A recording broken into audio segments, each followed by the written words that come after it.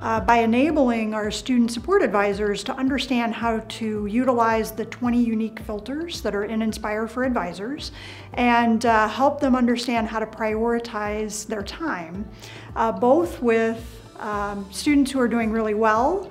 And so by encouraging those students, uh, because uh, actually 93% of our student population is in a high and very high uh, probability for uh, um, actually persisting into the next session. And so uh, it's helped them balance so that they're not just focused on students who we would have in the past talked about being at risk.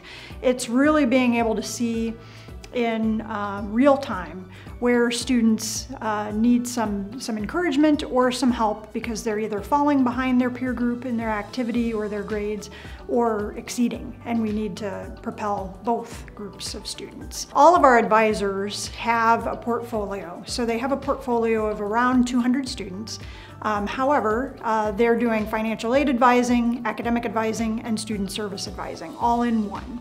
And we see that as uh, powerful because it prevents us from having to shuffle uh, the student around to get answers. It's a, it's a place for a one-stop shop to be able to uh, receive all of their advising. Understanding what's important to students, we can help guide our advisors on how to prioritize.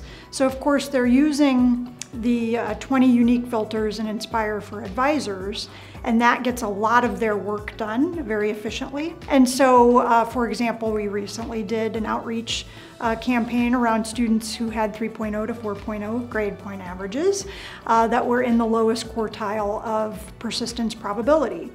Um, our advisors would not necessarily have identified that group of students. And so we were able to pull from them uh, how they would like to best communicate with that group of students. And so now they're doing a campaign of both email, phone, and text.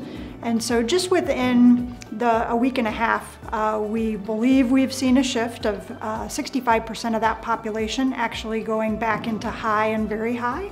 And so we'll see at census what the true uh, impact of that uh, campaign was.